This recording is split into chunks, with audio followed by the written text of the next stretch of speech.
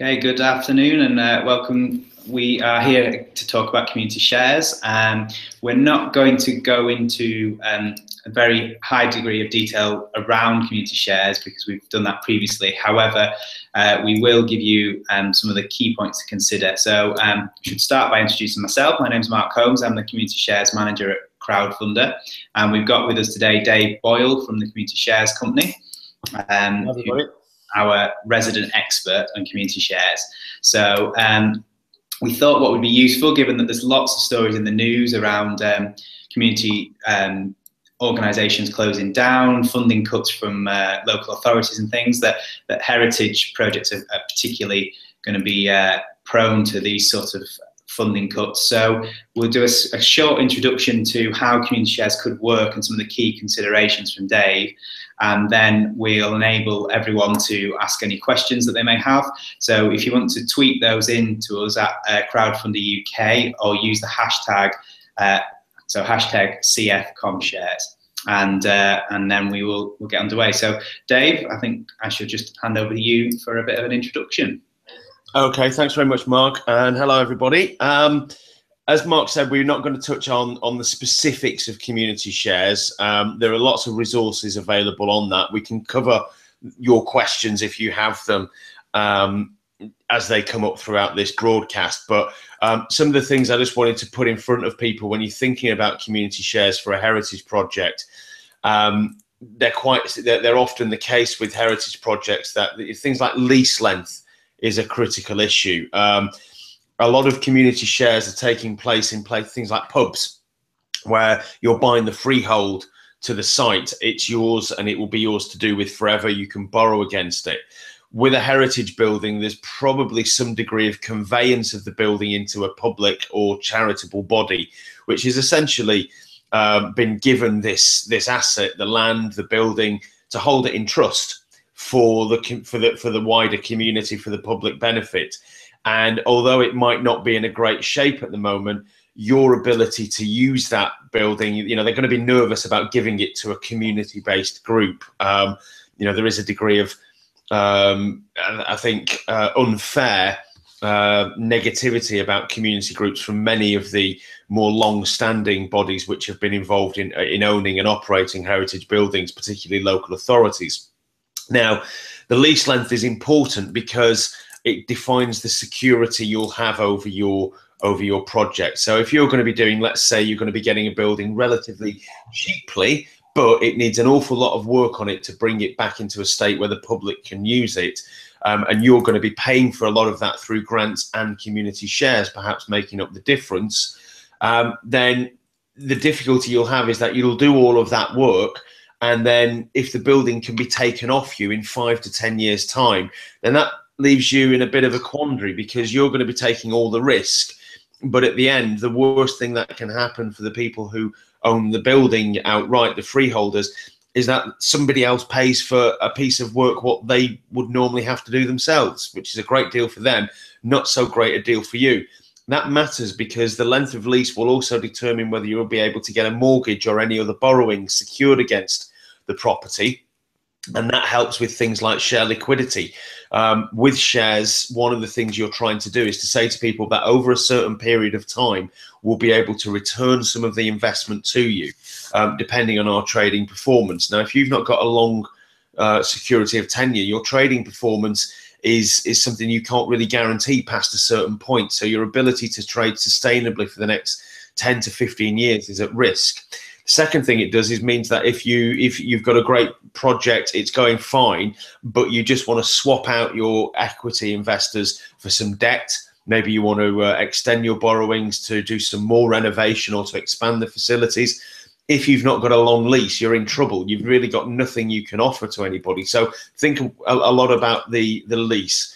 The other big issue which comes up with heritage projects um, is essentially the ongoing business model. Um, a lot of heritage projects, and I speak, I'm speaking now in terms of broad brush pastiche. A lot of heritage projects are conceived on the basis that a building is really nice to look at or has a historic value because of something involved in its former usage or its architecture or its construction.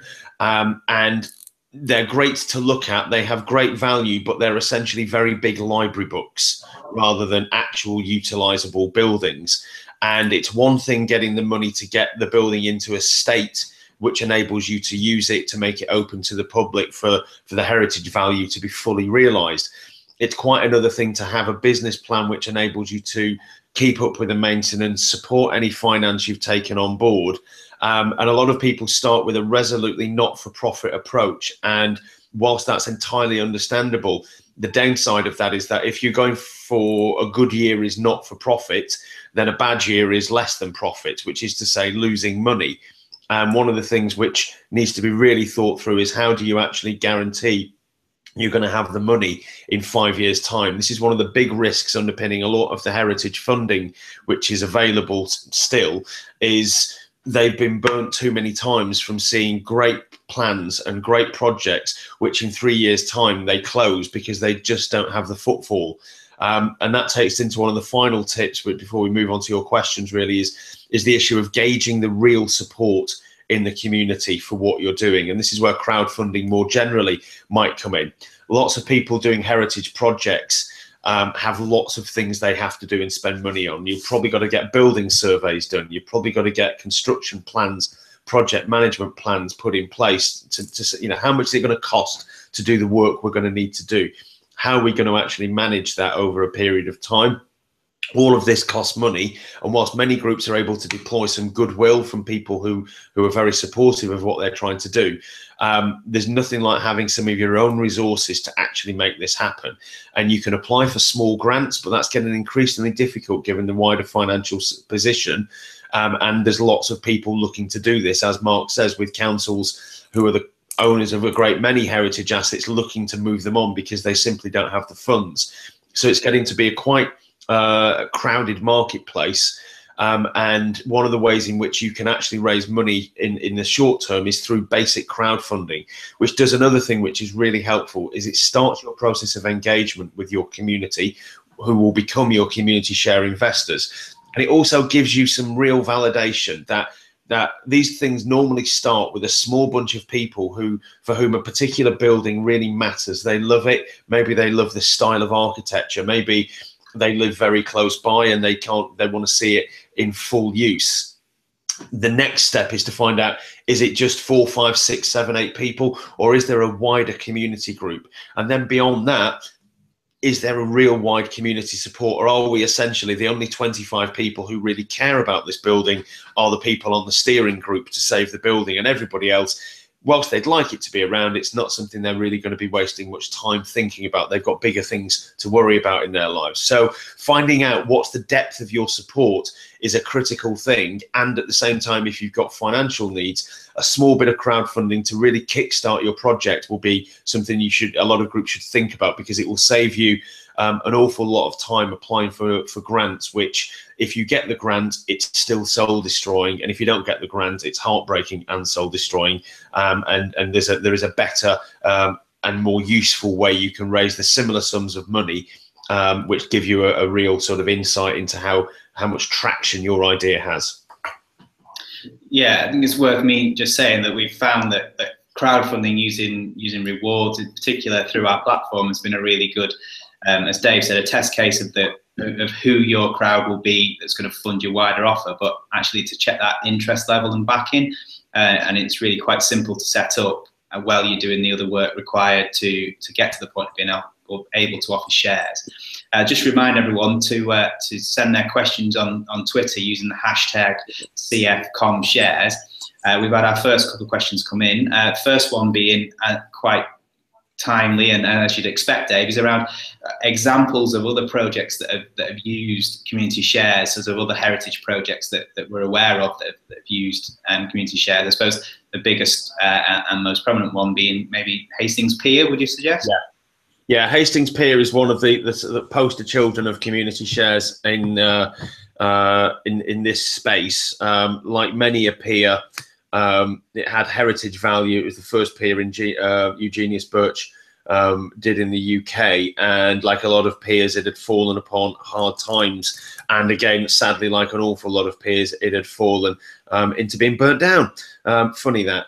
So, so the actual value to to reinstate the pier um, was an astronomically large sum of money, which was funded by the Heritage Lottery Fund, around um, I believe it was around 13 million pounds. It was uh, it was from their national fund rather than their regional funds.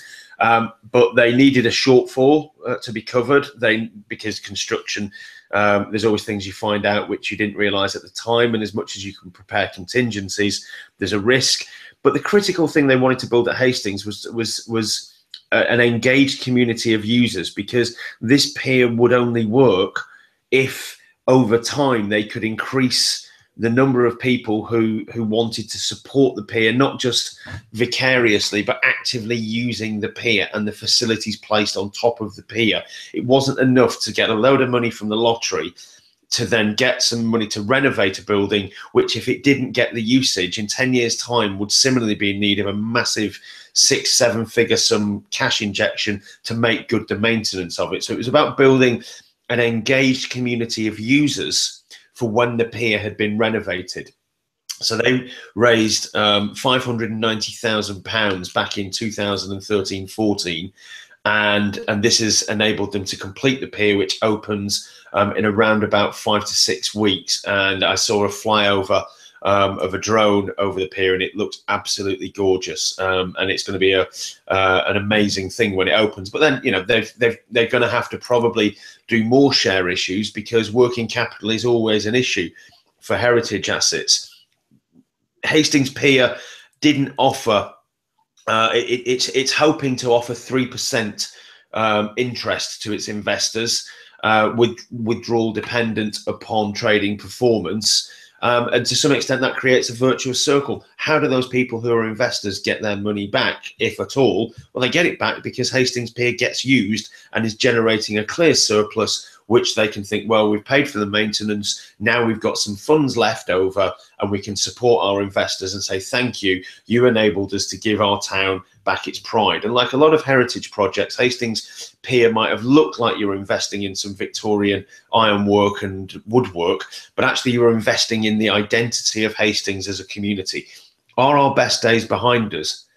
And that pier is a visible reminder that it used to be better around here? Or can we make this pier an icon for the 21st century, which says Hastings, the best is yet to come? That's a much bigger appeal than simply, do you like old Victorian walkways over the sea? Because if you don't, then the pier's not really got much to say to you. If, however, you live in a community and you want it to be better, then a share issue can mobilize those people who might not have realized the importance of the heritage asset to that broader community sort of perception. Um, the other uh, two, which which I'm familiar with or most familiar with, uh, Clevedon Pier, very similar business model, it seems to me. Um, and like Hastings Pier, it was a charity, company limited by guarantee, which converted into being a charitable community benefit society in order to issue the share capital. Um, that was a similar route taken by Portpatrick Harbour, which is a 450 year old harbour in the uh, Dumfries and Galloway coast, which was owned by a, a, a standard charity, um, which which had basically run into bad ways and got the, got the, the entire asset had been lent put in hock to some lenders who had lent the money on very generous terms in the hope that the charity would kind of um, you know it wasn't the worst thing in the world if they defaulted because they got access to some prime real estate in a in a lovely picturesque fishing village. They raised a hundred thousand pounds in double quick time um, and and that's been augmented by some of the charitable funding. There are also some heritage projects like unity hall in wakefield which is an old cooperative building which had been to, which been repurposed into a uh, a community space. Again it's got wonderful architectural and historic um, merit but it was about you know it was that that that alone wasn't enough to sustain it and, and nor had it been enough to sustain it so they've got a different business plan about using it as a as, a, as an event space. Okay, it's worth pointing out as well that on the uh, crowdfunder website there is uh, there are some success stories on there, and Hastings Piers is one of those with uh, a link through to their site and and a YouTube video and things. So it's worth checking that out and having a look. Um, a couple of other questions that are starting to come in, Dave, and uh, you've started to, to mention a couple of these things. Yeah. People saying they're sort of at the start of this journey and they've just found out that their their, their museum or their, their building might be in danger. Uh, and, and, really, the question is, where do they start? And you've started to talk about some of the the types of organisations. You've mentioned community benefit society and a yeah. charitable community benefit society, a co-op. Sort of, yeah. where do they sort of start? Is, is one of the questions. Um, well, the first thing is is I would you know you should only ever incorporate and become something with a corporate personality when you need to.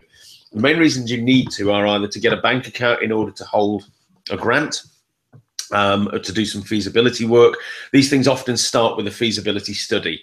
Um, normally, a lot of councils will will um, want to know that you're a there is a business plan, a viable future for this building. Um, a lot of large funding grants are absolutely contingent upon a successful feasibility study, which says you know, essentially, these people are not a bunch of dreamers who can't accept the hard nosed reality that this building is knackered and it's always going to be knackered, that there is actually a viable future for it and it might just become something amazing.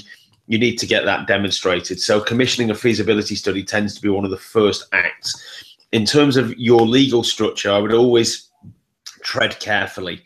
Um, there's a rush to get, you know, because you think you should be a charity at the end because you'd want to own this as a charity. It may be a condition of you getting the, the right to develop it, to renovate it, to run it or operate it, that you are a charitable body. Uh, but you need to be that charitable body right here, right now. You tend to need it by the time a lease is assigned to you, but that might be several years off. In the meantime, um, you being a charity would, you know, you might have uh, acted in haste and you can regret it at your leisure. Um, if you're thinking about doing community shares, the most obvious legal structure for you will be a charitable community benefit society, which is uh, uh, a slightly weird beast, uh, which very few lawyers will talk to you about because basically they don't know much about it. And a lawyer would very rarely admit to you that they don't really know what they're talking about. So they'll pretend it doesn't exist rather than say to you, say to you that they don't know much about something in the law. Um, but there is information on, on places like Cooperatives UK's site. Um, they're the only people I'm aware of who've got a charitable, um, and, and sorry, Wessex Community Assets have got charitable uh, model rules to register a society. But even then, you shouldn't probably be doing that until you're getting ready to the stage where you're looking to hold an asset and raise significant funding. In the meantime, the main thing you're looking to do from any legal structure you take on is essentially to protect yourselves and give yourselves limited liability for what you're needing to do. And in the main, I would strongly recommend forming yourself as a company limited by guarantee. It's the standard not for profit operating model in the UK and it's very good um, essentially for um, for small scale groups who are looking to do things like get bank accounts and give themselves limited liability. There'll be a point where you have to start thinking more seriously about what's the legal structure we would want for the next 10 15 25 years and at that point you because at that point you start to make irrevocable decisions. Once you've become a charity it's almost irrevocable. Um, you're stuck. And if you've done it because it seemed like the thing to do then that's not a very good reason. There are very good reasons to incorporate um, and very good reasons to become charitable. But be mindful when you take them because they tend to create new realities which it's difficult to unpick and undo. And if you've gone down the wrong road then then you know you've placed yourself in a bit of a quandary. Um, so think seriously about that. But um, in the main the first step will always be for a group is to uh, probably get a bank account. Um, and you don't need to be a incorporated body to do that. You can do so as an unincorporated association um, and get accounts with banks like the Nationwide, who provide something called a treasurer's trust account. Various banks have similar things for not-for-profit community groups. Um, and and be guided by the people you're engaged with as to what point you need to become incorporated and why. Um, if it's just because it's going to cover their backside in dealing with you, then then you know ask exactly how that particularly helps. Um, because normally you should be getting something like legal structure to cover your own backside, not to cover anybody else's. And if you're not being given actual responsibility for things, then I'd argue that maybe covering your own backside isn't the number one priority because you've not much to cover. Okay, so yeah, so there's lots of thought to be gone through before you, you start the journey and making sure it's the right thing.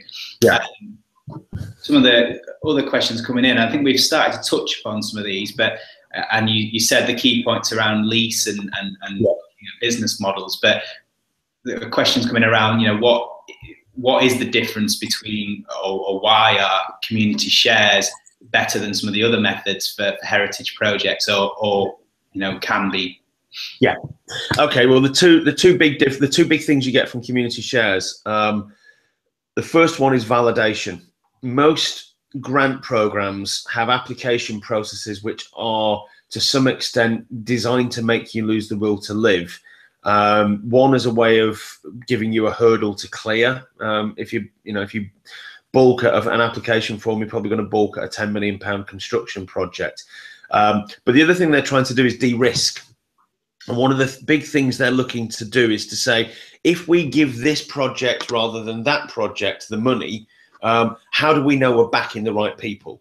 Who's likely to provide the greatest public benefit for the money we're giving them? And one of the key factors there isn't just about the popularity or otherwise of the asset, it's also about who's got a business model which gives us the idea that we might still be trading in 10 years' time. So they're not going to be coming back to us cap in hand and say, you know, sorry, we gave it our best shot, but it turned out that our business plan was incredibly um, as we aspirational, which is to say completely bonkers and not based in reality. And as a result, all that money you gave us to renovate this lovely asset is kind of gone down the swanny because we've not been able to do the maintenance for the last five years. So they're looking to de-risk who's likely to use the money wisest and longest. And to do, and if you've got a like at Hastings Pier, if you've got an engaged community who are going to do several things, they're going to be your future customers they're going to be your future advocates. They're going to be not just using it themselves, they're going to be the marketing advocates in the community and beyond, pressing people to come and visit your asset because it's great and because they own a stake in it. They literally own a piece of it. And that's what's changed the relationship. You know, it's no longer a vicarious thing. There is a small bunch of the great and the good who really love that building, and I wish them the very best, but don't really ask me to take responsibility for it. I'll happily say it's great living in a community where we've got our museum back on, but don't ask me to do anything to actually make that museum happen. If that's something you want to deal with, then you you know you need to engage those people and give them a stake in what you're doing.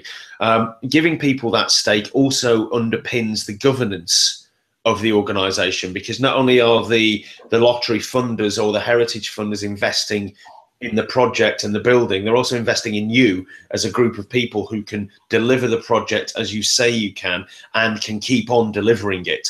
And I think you know there is a there is a danger with a lot of heritage assets. I think um, that they become a small preserves plaything. They're quite closed. This is what happened with Portpatrick.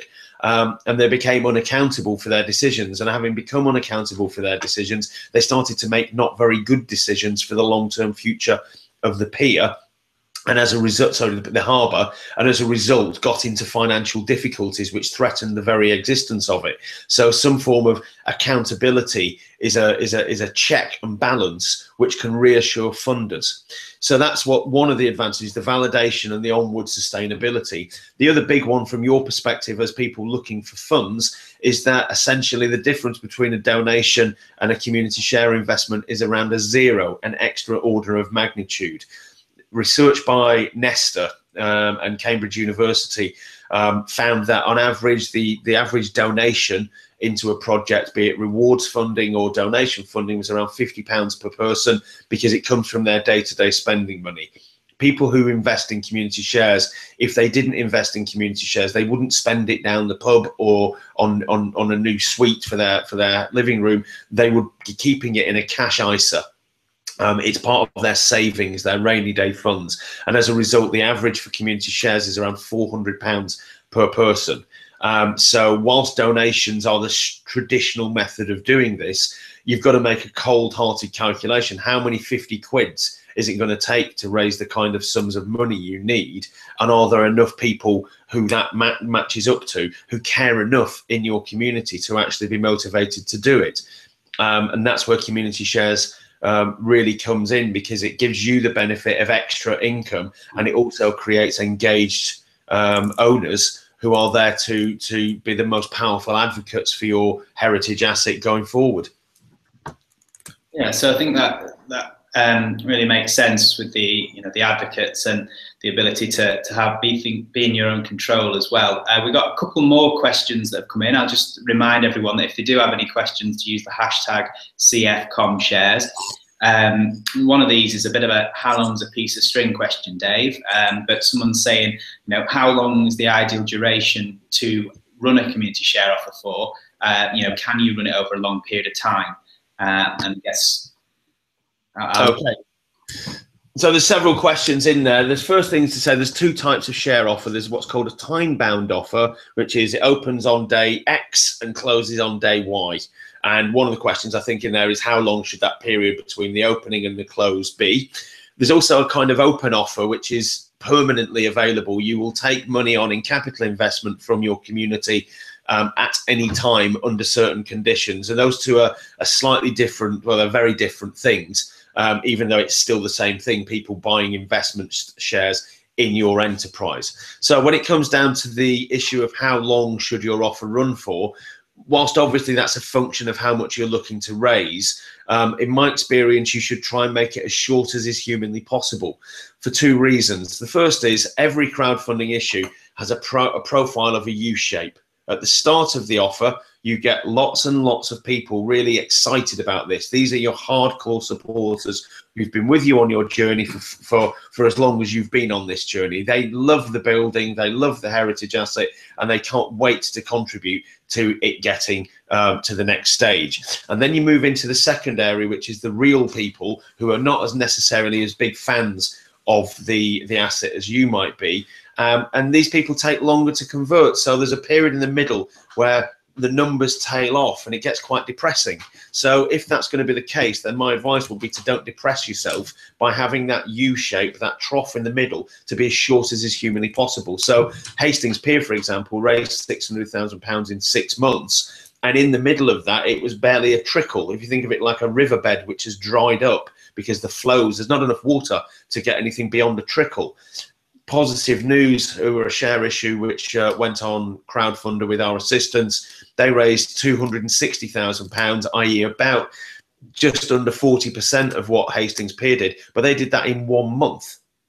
And it's much more frantic but it gives you momentum. And momentum is your friend because you're trying to give people the sense that this is happening this is a great share offer. It's on its way to being successful. Momentum is here, and you should jump on the bandwagon because people like jumping on bandwagons. They're not as keen to start pushing bandwagons themselves. So if you've got an extraordinary long period between your open and close, um, one, it looks like you're hedging your bets, and two, it looks like that to the outside world, and and you'll lose in terms of momentum. Um, the other factor in there, though, the sort of contrary factor, I'm saying there, make that as small as possible. What governs as possible? Well, it comes down to your resources as a group to campaign. Um, if you're having a share offer campaign on every single day, you need to be doing something which provides a new spin and a new way of saying the same thing, which is people, if you love this building or this asset, you're going to have to pay for it or else it won't happen. Now, that can be quite dull and repetitive. So you're finding new and interesting ways um, to say that. So the local papers, the local media give you the kind of coverage, even though there's nothing news uh, worthy has actually happened. It's just the same people are saying the same thing, only this time they're wearing clown outfits or whatever it might be. So there's only so many bodies you can throw at the issue in your campaign. And if you're going to exhaust them because they don't work full time on this, so you can't really do it over 28 days because there's only weekends you've really got to be active on it, then that's something to think about. So it's about what resources you can throw at the campaign.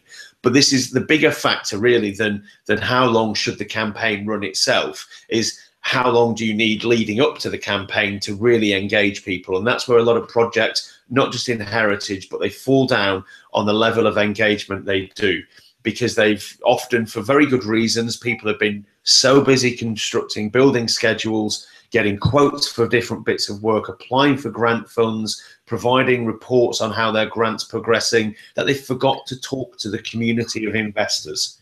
And they've assumed that you know when the time comes everybody will will will snap into place and they'll be providing money um, like there's no tomorrow and it just doesn't work like that if you need a certain amount of money from a certain number of people, you need to be engaging lots and lots of people in advance so they're excited about you. In the share offer campaign itself, you will not be convincing them that your project is viable. They already know it's viable. They're now just converting into the people who make it happen by giving you the money. If you're explaining about the project too much in the offer, then you're going to fail. And that's work you need to do in advance. So think of it like preparation for a sports team. You know, there's the match itself, which is really important, but there's also the preparation in the week leading up to it where you do all the training and the drilling. The same is true of any activity, really. It's about the preparation time. And that's, if not as important, probably more important than the actual specific time period you put the offer length in. And to some extent, they're related. The more engagement you've done, the more excited your crowd of investors is, the shorter the period you will need to actually get them over the line because they're going to be absolutely gagging to invest. Yeah, I think there's a couple of things I'd, I'd add there as well. One of the, the functionalities we've added to Crowdfunder is the ability to have a register interest page. Um, so while you're doing that warming up, as Dave said is so important, you can actually have a page there with some of the information and, and allow people to register interest and add their email address so you can go out to them then and, and when you are live and you've got all your ducks in a row, um, you can talk to them and say, you know, come back now, we're ready to take investment and, and here's the way to do it. So that, that warm up, that registration of interest um, can be going on while you're doing your building plans and all of those things that Dave just, just outlined uh, and, and, warming up the crowd. And also, you can use the link in, in any Twitter messages, Facebook, emails out, uh, press releases, as Dave said. So when you warm up that crowd, you've got that ability to register interest, which means you've got that crowd ready. And then when the investment goes live, they're there to put that investment in to begin with and, and build that momentum, which Dave mentioned as being so key. Uh, the other thing I'd just pick up on um, is, is around the target you set as well. So you, you may have a minimum target that you have to reach to be able to do X, Y, and Z on the building or, or, or to get the lease. Um, but setting your target is really important and making sure it's achievable. And then you have the ability. So we've got a prototype at the moment at Penicuik stores on Crowdfunder who, who set a realistic target that they needed to secure funding. And then once they've hit that, they've now gone on to overfund and, and, and increase their target to, to enable them to take on less debt.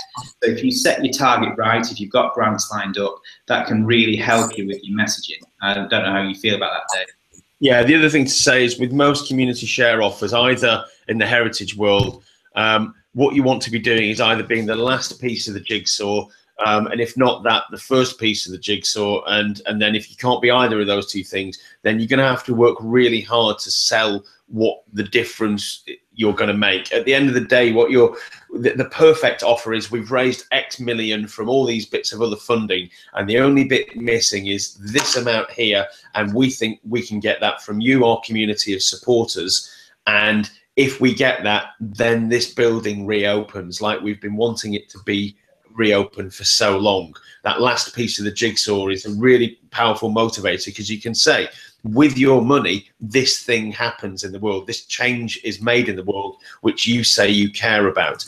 The first piece of the jigsaw is when you've got a building which maybe people think there's no business plan behind it which would be sustainable or people say it's lovely but you know does anybody really care that much about this um, and if you're trying to demonstrate that there is a real community of interest who really believe in this project and they've got significant funds, then that can be a game changer too. It can make you much more attractive to grant funders who've, who've seen how strong the, the passion is for the project and and the the commitment people have shown in you as a group of activists. At the end of the day, you're going to be a smaller group of people who do this, and if you can get a thousand other people to say, we believe in you so much that we've given you on average 250 quid each. Um, there's another signal being sent to grant funders there, not just about the project, but about you as a group of people who can take this project forward. You've earned the trust of your community. So why should a grant office um, doubt that trust? Because you know you don't, these people don't know you like the community who've just given you significant funds. If you're in the middle where you're trying to raise money a bit like in those seaside horse races where they're all moving forward slightly like this that's very difficult because to some extent there's a, a, an imperfect feedback loop because you're trying to say to someone with your 500 pounds your 250 pounds that goes to make some change happen. If it's with your 250 pounds it puts us in a stronger position to apply for grants and then we apply for those and then we do the work and then the building opens it starts to be a longer chain of causality and the longer the chain of causality the less passionately and the less uh, salient the offer will be to individuals who are looking to invest okay and i think we've just got um, two more questions that have come in so i'll just say again if you've got anything you'd like to ask use the hashtag CFCommShares um, and I think if we if we don't get any more in, then we'll we'll wrap up after these. Uh, but first one, Dave, I think it's probably more you, and the second one will be a bit of a joint thing for the two of us, I think. So, um, just had a question around um, obviously people a little bit worried or, or, or unsure around the fact that um, being a museum or something perhaps that they don't have a clear way of offering interest. So there's people are asking, you know, what level of interest you, you reference people who having savings in ISAs and things like that. Is there a, you know, obviously it'll be a case by case, but any advice on interest? Um, interest should be uh, the first thing to say is that the, one of the beauties of community shares is that the board are the people. It's unlike a loan where if you say I'm going to take a loan from from you at uh, three percent interest, there's a legal contract being made between us there, and if you don't give me three percent, then then you've broken your side of the contract, and that puts me in a stronger position. I've got rights I can exercise. With a community share investment, the the ability to pay uh, interest is firstly capped in law. It can be no more than that required to attract the investment. So you, you can't make it a, this isn't a way to get rich. It's a way to add value to your community, but not to transfer value to your, to your investors. Um, secondly, you can only do it really if you're actually generating the surpluses. So if you're not making enough money to pay interest, you can't pay interest, nor can you support share withdrawal. So the first thing to say about the ASP, that puts you, sorry, in a good position as an enterprise because to some extent what you can pay back to your investors is contextual. It's dependent on how well you do. That gives you a second benefit in that the people who can help you do as well as you could possibly do are your investors themselves. So the people who can best help you get to the situation where you're able to afford to pay interest are the people who benefit from that interest being paid, which is a really nice virtuous circle, um, which is which which is very beneficial. In terms of what you should be charging, the thing to remember is that we've got historically low interest rates um, at the moment. They've been hovering around 0.5% on average for cash ISAs. You don't have to work too hard to do better than the bank five, six, well, actually about eight years ago, banks were offering three and a half, four percent for ISAs. So that meant you had to work very hard just to be as good as the no risk option of putting it in a bank account. So this is a moment of opportunity for projects like Heritage and indeed anybody looking to do community shares.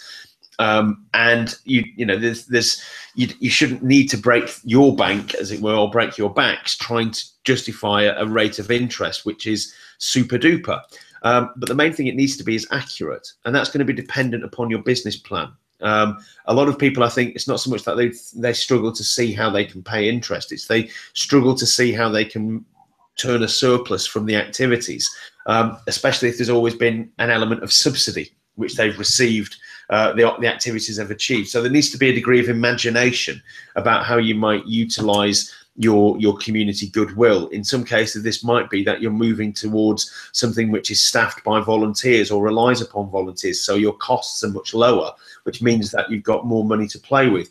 It might be that you get an awful lot of goodwill from people who start to use the facility more, and that gives you enhanced revenue projections than than it has when it's been owned, say, by the council. Um, you'll have to get into the detail of of that when you start thinking about your own business plan. Um, but I think as important, the thing to remember here is that if you are um, uh, a charity um, who's doing a share issue through a charitable community benefit society, you'll be able to claim social investment tax relief quite possibly. You might even be able to claim some of the other tax relief like enterprise investment scheme or seed enterprise investment scheme relief. These can offer significant tax breaks between 30 and 50% to your investors. So against that backdrop, if you invest in a project and you can write 30% of it off against tax, then to some extent, why are you offering interest to those investors? Because they're already getting a reasonable return thanks to the tax incentives which have been put in place by the government successive governments, I should add.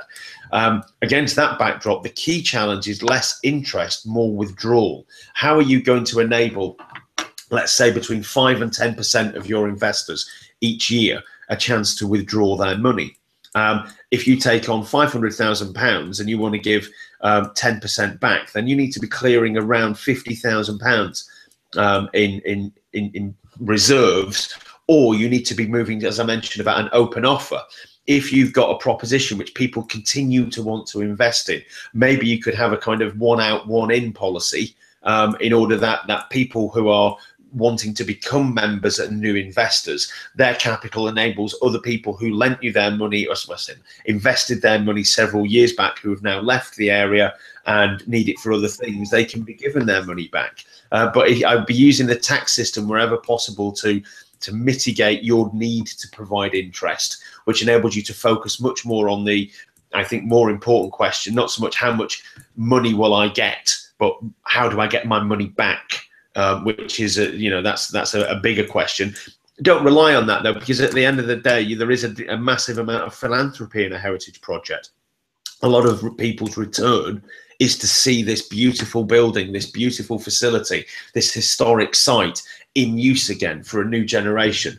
So don't you know think that you have to be be being competitive, and there is an element of philanthropic um, benefit people get from just having been pleased to allow their money to make a difference in the world, which matches their interests, their values, and their their, their aspirations. Um, but but you should be thinking about how you can support withdrawal because somebody who's philanthropic in the first year, five years down the line, a lot might have changed in their life and their ability to be philanthropic might have been constrained a bit. So you need to be thinking about the sort of replacement of their capital with new people, perhaps. Okay, thanks, Dave. And the final question sort of brings us quite nicely round to, to sort of concluding. Uh, and the, the question is around can you mix and match crowdfunding with more traditional sources? So I think it's probably worth me starting off by saying, and I often refer to crowdfund as being like a digital version of the Blue Peter totalizer. You sort of enables you to pull all of your uh, funds and all of your raise, ways of raising funds into one place that you can you can publicly show. So um, you know, with the ability to add rewards, um, and, and, and donations onto the crowdfunding platform, you can have that mix of community shares and more uh, and rewards and donations. But also, as Dave said earlier, using rewards as, uh, um, or other crowdfunding mechanisms as a way of testing your crowd and getting you through those early development phases ahead of, um, of your application to more traditional funds that, as we say, is more competitive, but it gives you that ammunition there to say we've already had 1,000, 2,000, 3,000 people back us, uh, and here's a list of those people, um, and then using potentially community shares as a, as a, final block in the in the wall, so to speak. Yeah. Um, and, and, and Dave quite rightly pointed out there, the ironic, in fact, that the government increasing tax or uh, enabling tax breaks to increase investment in these schemes when they've withdrawn the funds that have brought the requirement of, uh, of the funding in the first place. But um, I think, as I say, that when we're looking at this, that it does take time, and community shares are a great option for this. Um, however, it's a way of bringing it all together. You don't need to, need to be one or the other. Yeah. The, the other thing to throw in is the, you know, who wouldn't try and get a big fat grant? Uh, it's free money, essentially, insofar as you don't have to repay it, though you obviously are committed to doing what's required. And that's that there is a thing here about heritage versus enterprise. Having been involved in a heritage project myself, there is a, a tension, which is in order to access heritage lottery funding, there needs to be a heritage educational dimension. It's not enough to say, we've got a beautiful looking old building, as you can see. you've got to have something in the building which educates the public who are going to visit it about that heritage and to understand it better. And that looks great when you're applying for funds. It's like, yeah, whatever it takes to get over the line. What that kind of does, though, is commits you to a kind of business model, which means it's not so much about using it. You know, you've created something with a bit of a school in it, um, and you can't charge for that school. So it, it is um, impacting upon your latitude for generating revenue because some amount of space is going to have to be set aside. And space is often at a premium, especially when it's costs to renovate it and bring it back into use. The enterprise lottery fund for the Heritage Strand um, doesn't provide as much money um, as far as I'm aware, unless there's been a significant change. Um, but um, it does mean that that you've got more flexibility about what you do. It's about living heritage, which is essentially a building which has something in it which respects and reflects that heritage, rather than being something more sort of you know cast in aspic to some extent. So that that's one thing to think through. The other aspect to your Bowie really is is debt finance. Um, a lot of heritage projects struggle with this because they struggle to have a business plan which shows how they'll generate enough funds to support debt. Um, and that's worth thinking about because um, if you're genuinely struggling to show a business plan to support debt, then you might be struggling to support withdrawal from shares as well. And that, you know, my alarm bell would start to ring at that point that you're setting yourselves up that a good year is where you only lose 10 grand and eventually you'll have a bad year and you'll lose a lot and then you'll be back at the very beginning of the cycle where you've essentially got to the end of what you were able to do with this asset um, so you know don't be afraid of debt you don't have to take it on but try and build a business plan which somebody would say yeah i'd lend you some money against this uh, because it looks like the revenue projections are sound, the assumptions are reasonable. Um, and that can often be the final part of the jigsaw where you can get some form of underwriting where you're looking to raise, let's say, a million pounds from the community, but you've got underwriting debt in place up to 500,000. So it goes back to Mark's point about overfunding. Your minimum there will be half a million pounds. But if you bust through that, then you've got the ability to have equity, which is a more patient and cheaper form of finance in general. Um, and puts you more in the box seat and enables you to um, deleverage your debt, which will probably be the better for you. But that's the other element of the of the makeup of the package. There'll also be some small donations which have been made, especially if you are a charity and you've got charitable community benefit society status, you will be eligible for gift aid um, like like a standard charity as well. Okay, thanks very much, Dave. I think that's the, the end of our questions. It's worth me just pointing out a couple of things. It's, it's one, as we've talked about a few times, crowdfunding is a lot about momentum. So it's about warming your crowd as you go and keeping people informed and testing that crowd's there um, as you go. Crowdfunding creates advocates, which is key to, to all um, entities, but particularly around heritage, as Dave said, these will be the people who are, are not just coming to visit and, and putting their feet on the ground in the building, but they'll be telling their friends and family and everyone else about it and, and coming and, and helping you become and, and remain sustainable. Uh, and, and when you're crowdfunding, that momentum aspect is key. So keep people informed and sound them out. Use, use your crowd as a test bed for what you want to achieve and sense check it because they'll ultimately tell you whether you're on the right tracks or not and potentially save you a lot of time and, and money and, and give you the confidence to move forward. Um, so, in terms of summing up, really, I just say uh, thanks, Dave, for all your advice and, and help. There's, there's one more thing I'd just like to add, uh, Mark, which is I think, uh, you know, from, from experience working with heritage projects, um, there's often a very strong sense of stewardship which people involved in trying to make these things happen. There is a genuine love for for the assets they're, they're, they're looking to bring back into usage and people often get nervous about the idea of giving ownership over that to the wider community. Um, and the two things to say about that is firstly, that sense of ownership is what is a game changer. Generally, everybody else has had a chance of owning these assets. Hastings Pier had been owned by the local council. It had been owned by a charitable trust, you know, the great and the good. Um, it had been owned for the people of Hastings, um, but it had never been owned by the people of Hastings. And it turned out that, that the chance to own it and say, that's mine, along with other people, obviously, is a really powerful factor. People like to own these kinds of iconic buildings. They like, they've looked at them in many cases for all their lives and the chance to own a bit of it, not own a brick with their name on it, but to actually own a share in the enterprise which holds the freehold or holds the lease.